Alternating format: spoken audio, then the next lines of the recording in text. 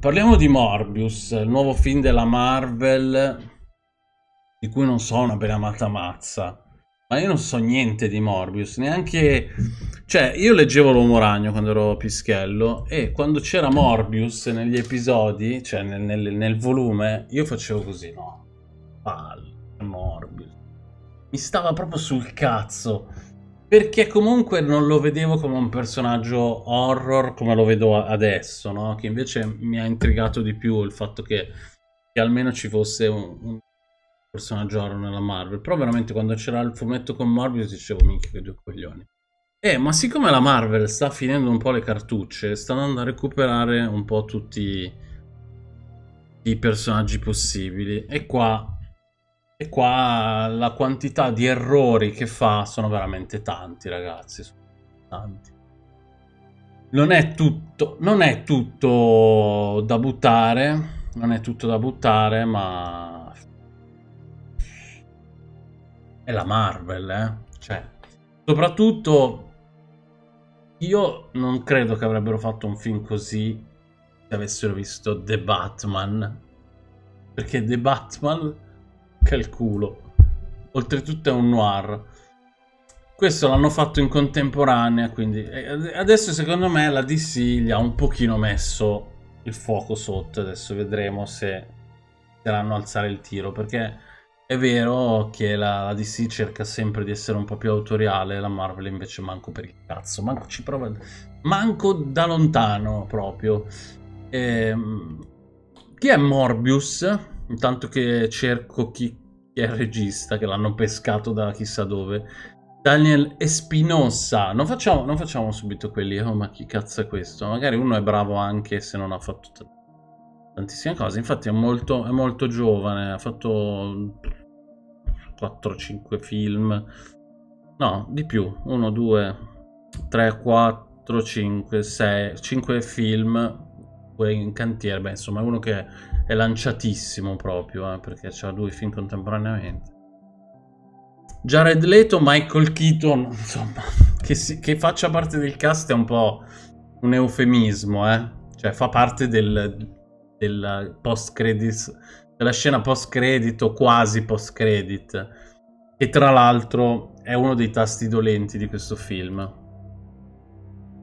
Come faccio però a raccontarvi la trama senza mettermi sotto tipo trama. Il biochimico Michael Morbius che ha un problema al sangue, è nato, è nato sfigato, è nato con, eh, con questo sangue sfigato, eh, deve continuamente fare trasfusione eccetera.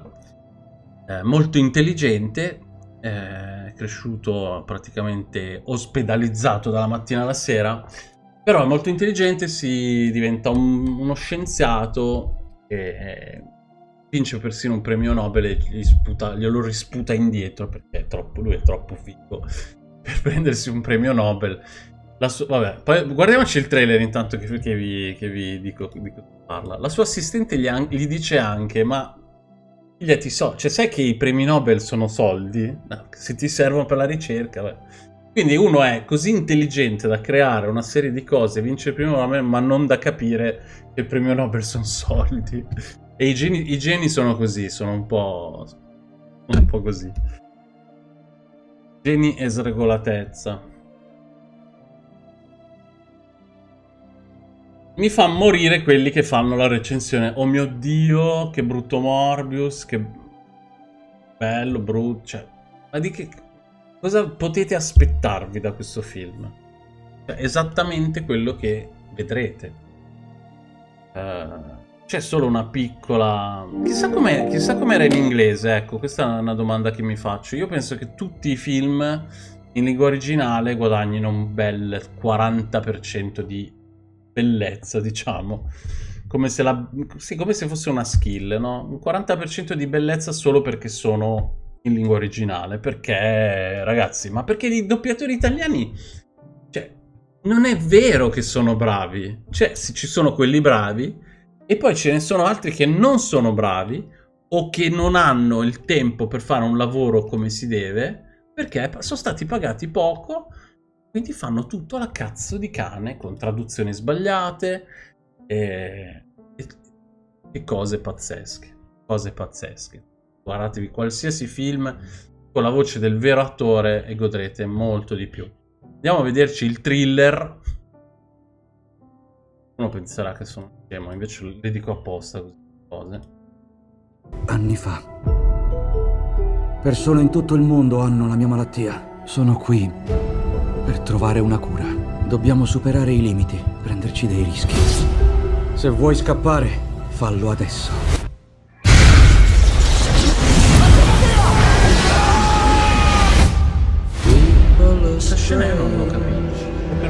Capito. Dottor Michael Morbius, lei è scomparso per due mesi.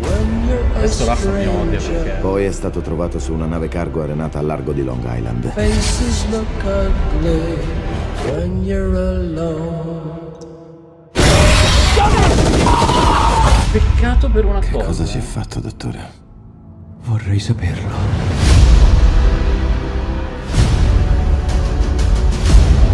Stavo morendo e ora sono più vivo che mai. Ci sono dei limiti. Devono esserci. Qualcosa dentro di me mi spinge a consumare sangue. Michael?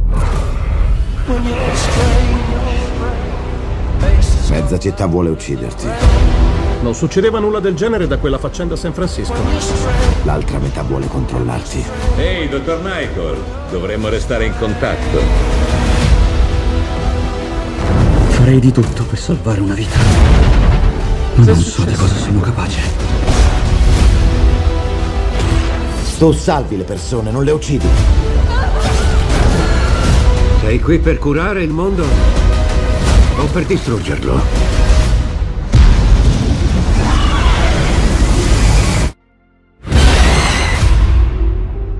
Allora, nessuna delle scene che vedete battute è collegata a quella scena dopo. Io sono Venom. Scherzo, sono il dottor Michael Morbius al tuo servizio. Forse questa è la battuta più bella del film. eh, Quando dice, vabbè, lui vede che quest'uomo è super forte e dice: Ma sei che sei forte? Lui dice: Sono Venom. Lì devo dire che mi ha fatto un po' ridere, anche perché essendo che i diritti di questi personaggi sono, sono strani, sono stati comprati da Sony in modo singolo. Infatti, in Venom non vedete mai Spider-Man e altri personaggi, e in Morbius non vedete mai eh, Spider-Man. Ma vedete l'avvoltoio, come avete visto, c'è Michael Keaton che dicevo: Ma che cosa ha fatto di male? Deve dei soldi dei... a qualcuno per fare questi film? Non lo so. Perché poi li fa, ma li fa anche in un modo che boh, non mi piace molto. Allora, devo dire, par- allora, non so se cominciare dagli aspetti sgradevoli che però sono anche abbastanza telefonati. Sì, partiamo da quelli. Allora, innanzitutto è un film Marvel. Quindi io mi chiedo, ma chi è che veramente pensa di andare a vedere un capolavoro?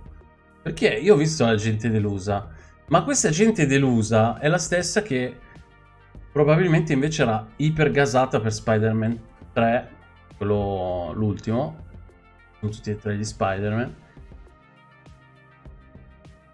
Ma cioè, ragazzi, ma fa- è un filmaccio anche quello, anche se è scritto meglio dei due precedenti. Qua mi sembra che un po' il parametro sia questo, no? Cioè Marvel fa, eh, Marvel fa dei film, sì, fa dei film orrendi e poi ne fa uno migliore e, e la gente inizia a essere contenta. Eh, in realtà qui è stato fatto più o meno la stessa cosa, cioè eh, viene, preso, viene, viene- preso un personaggio con la solita struttura del- del- del- dello scienziato che, che fa l'esperimento e si, insomma, l'esperimento va male, si trasforma in mostro. E questa parte in realtà è anche figa ed è la parte che mi ha attratto perché è chiaramente una citazione di Frankenstein, di Dr. Jekyll più che Frankenstein. Dr. Jekyll mist- misto a mm, insomma, Dracula, perché c'è un po' di tutto. Però diciamo che il meccanismo del creo una cura e poi me una cura che mi incula, una cura che mi, che mi si alla fine va male e mi si rivolta contro, contro è quella di Dr. Jekyll e Mr. Hyde, cioè era, era un po' la base di quello. Poi il tema dei vampiri è fighissimo, è fi- e sono molto belle le, bello che sia stata tirata in ballo tutta la Strelli eh, della Costa Rica, mi sembra. Quelli veri che si nutrono veramente di sangue, però ecco, ci sono scene un po' ridicole, come lui che li va a catturare, si vede nel trailer, e si mette lì come esca, col, si taglia una mano e per catturare sì, era assolutamente necessario. Bastava andare al Carrefour, comprare due bistecche che hanno ancora un po' di sanguino e le app- e appoggiavi lì. Io credo che i pipistrelli non avrebbero fatto tanto gli schizzinosi, ecco. Eh, magari toglievi la pellicola ed erano contenti, quindi non era necessario andare lì a tagliarsi la mano che poi ti viene anche un'infezione. Poi oltretutto hai anche una salute cagionevole e non mi sembra proprio il caso. Comunque di questo tipo di... Eh, diciamo... Sciocchezze ne è pieno il film, come ne è pieno... Eh, ne sono pieni i film Marvel, ma come ne sono pieni anche dei film belli di genere. Non è che bisogna accanirsi sul fatto che alcune cose non sono eh, credibili, perché ci può stare ogni tanto chiudere un occhio. Lo si fa però molto più volentieri quando un film è bello. Questo è un film che fondamentalmente uh, non lo è, non lo è, anche se ha delle belle atmosfere, delle atmosfere horror. Vi ho ipnotizzato con le mie chiacchiere, che non... qualcuno l'ha visto, qualcuno va a vedere. Io so che non è il vostro genere, quindi è, è un attimo una cosa che, che, faccio fuori da... Però è vero anche che è l'unico film Marvel, eh, Marvel o DC insomma, che ha un po' di horror effettivamente al suo interno e sono anni che cercano di spacciarci nuovi horror. Cioè, dicono ah nuovo Strange, Doctor Strange horror il nuovo New, New, Mutant. Io lo chiamo New Mutant. Mi fa, mi fa così cagare lì, quel film lì a solo a pensarci che non lo guarderò mai e continuerò a chiamarlo New Mutant ma Stefi allora dalle poche cose che ti, che ti ho sentito citare non credo che possa andare bene per te perché è veramente troppo troppo basic. I dialoghi non sono brillanti, mm, non c'è niente di brillante, ecco, le, le, uniche cose che sono, diciamo, degne di nota sono Jared Leto, eh, perché comunque alla fine è un attore di grande caratura, comunque, che sa fare tutto, sa fare tutto, fare drammatici, film mainstream d'azione come questi, e, e poi c'è una forte componente legata al suo fascino. Jared Leto è, come, è veramente come un vampiro, nel senso che non è solo bello, ma è anche affascinante. Eh, lui sa di essere affascinante, sa di avere questo superpotere, è un superpotere tipico dei vampiri, tra l'altro. Quindi ci sta tutto. Sta tutto, cioè penso sia uno dei pochi attori che con 30 kg in meno, super magro, attaccato a, a un tubo che deambula come un rachitico, riesce a essere sexy comunque. Cioè io penso che, che eh, un po' abbiano giocato su questo, cioè su attirare buona parte di pubblico femminile e o maschile, eh, diciamo non eterosessuale, che che comunque può, può apprezzarlo esteticamente e poi vabbè come attore spacca. Alla faccia da pipistrello. Sì, sì, sì, sì, beh, lui è... Lui secondo me ha un grande fashion, grande, una grande capacità di... Eh... Buca lo schermo, buca lo schermo. infatti il film che ruota praticamente tutto intorno a lui e la sua interpretazione è anche abbastanza scorrevole. Eh, rispetto ai soliti film della Marvel, che veramente c'è da uccidersi, l'altro giorno guardavo Disney Plus perché mm, l'ho fatto per, per, far vedere un film a mio figlio e tra l'altro lì forse vedrò tutti gli alien, cioè li, li riguarderò lì. Eh, ci sono tutti i nuovi Marvel, oh ma li guardavo, non ce ne, proprio non avevo nessuna voglia di mettermene su uno, proprio zero totale, zero totale. Hanno tutti comunque questa cosa che devono essere super infantili. Stile come come tipo di cinema. Mentre già questo è un film che ha un linguaggio molto più adulto. Eh, peccato che però non sia stato fatto niente a livello di storia. Nel senso che poi la storia veramente è inesistente, non, è, non ha non riesce a creare un, un pathos con, con, gli altri personaggi e quindi fondamentalmente è tutto intorno a, a Jared Leto però non so come dire non è che funziona come funzionerebbe in Joker che eh, è un personaggio che ha più personalità e quindi che, che, che sono più personaggi in realtà Joker all'interno del film quindi il film può giocare tutto su un personaggio perché lo stesso personaggio cambia. Eh, è un po', da questo punto di vista, un po' noioso. Eh. Mi dispiace che le parti, tra virgolette, horror, dove lui si trasforma in vampiro, alla fine, per una questione probabilmente di... di dire, di, di, di accessibilità al prodotto da parte anche di un pubblico più giovane non c'è una goccia di sangue, cioè la goccia di sangue c'è, ma non che fuoriesce dai corpi. E lui squarcia fa, ma non si vede niente. E questo è un po' un'autocensura che a livello registico è veramente piacevole, non so, proprio eh, se ne accorge chiunque. Che l'hai volutamente fatta vedere perché e quindi questo trasmette comunque una sapore proprio da, da prodotto plastica impacchettato e andato al supermercato. Cioè, questo è. Eh, non mi sono dispiaciute le trasformazioni del viso di Jared Leto in questo Morbius, che alla fine assomiglia molto al, al fumetto. Però poi alla lunga, con anche un altro personaggio che si trasformerà in vampiro, diventano veramente noiosissime. Anche i combattimenti, tutti in CGI, sembrano usciti da un film degli anni 2000. No, non sono molto realistici, sono molto belli, molto dinamici, eh, però non, non, sono molto realistici i corpi, le anatomie. Un po' caricaturali, un po' fumettose, quindi sono veri. Che dire ragazzi, eh, se siete fan della Marvel non è, pro, non è, tra i prodotti peggiori che hanno fatto. Per me i primi, i due Spider-Man, i primi due Spider-Man con Tom Holland sono da vomito proprio... Povero me. no, mi si è proprio incastrata la voce. I primi due Spider-Man con Tom Holland sono una roba vergognosa, sono una stupidità inaudita. Eh, questo sembra um, girato da Jane Campion a confronto, a confronto di quelli lì.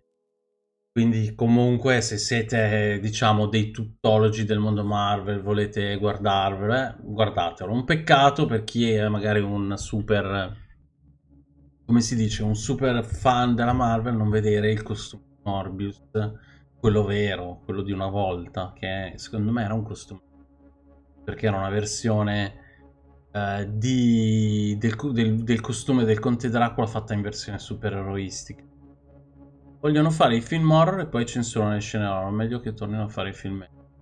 Ma anche secondo me, nel senso che non gli dai quel sapore horror, perché poi disilludi, disattendi. Eh, poteva essere semplicemente mm, action e basta, appunto. E tutto questo sapore lugubre è telefonato, no? Cioè, è telefonato nel senso che era d'obbligo. Siccome lui è un vampiro, è d'obbligo farlo così, ok? ma non è così nel fumetto. Nel fumetto è molto alla luce del sole. Non è. Morbius non è così dark. È dark, ma non è così tanto dark. Poi qua è un po'. Un, è un po' come vedere il corvo. Ecco, un altro difetto enorme è che Morbius non è buono. E qui invece si è, voluti, si è voluto fare un personaggio buono, ma estremamente buono. Uh, e quindi eh, quando poi sappiamo già che andrà a diventare un nemico di Spider-Man o di chissà chi cazzo e si alleerà con il eh, avvoltoio, per questo si sa ragazzi, se mi dite spoiler vi occhio e poi anche nell'altro. Cioè, lo vedete nel trailer, lo sapete. Che comparirà all'avvoltoio, allora mi viene da dire questo gioco del farlo buono e poi dopo tutto d'un tratto diventa cattivo mi sembra cazzata, cioè.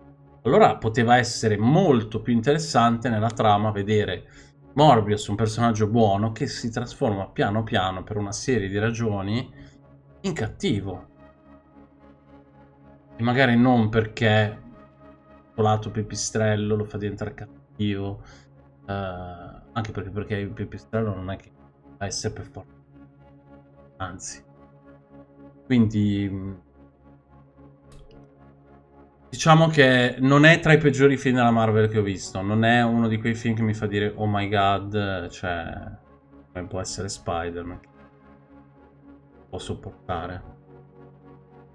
Questo è un po' tutto per quanto riguarda Morbius. Non è horror, quel poco di horror che, che si vede dis disattende le aspettative, ecco.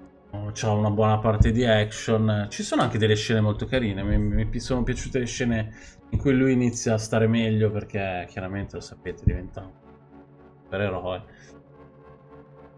molto belle certe scene dove lui chiaramente ha, ha i poteri del pipistrello vi, non vi dico niente sapete quali sono i poteri del pipistrello?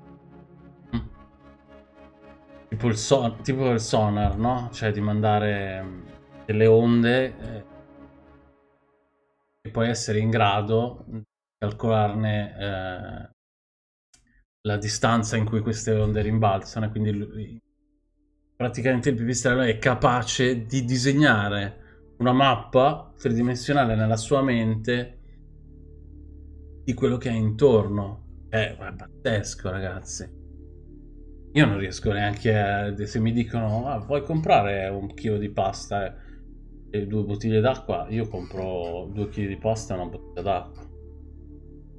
E Siri, più, e Siri del mio telefono è ancora più scemo di me. Ogni tanto parte.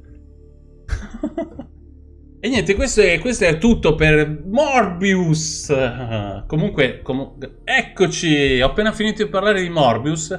L'unico che poteva essere interessato un filino, un filino a, a, al mio parere su questo film, che sicuramente è più, è più, avvezzo ai film della Marvel, era Silvano ed è arrivato adesso, ma te lo dico, non ti costringo a riguardarmi la live, visto che sei comunque quando puoi ci sei sempre in live, non ti costringo.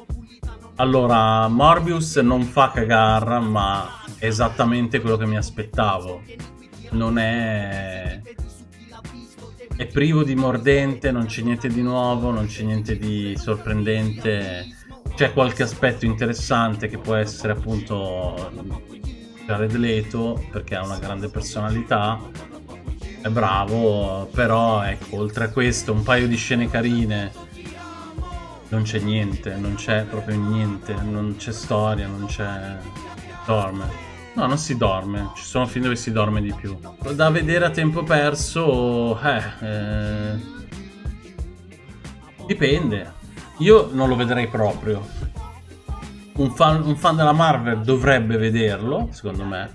Uno proprio di quelli sfegatati dovrebbe vederlo subito, perché comunque i film eh, sono quei film lì sono il tuo genere, ti piace. E uno così così si può aspettare tranquillamente che esca su Disney Plus. Se devo essere sincero.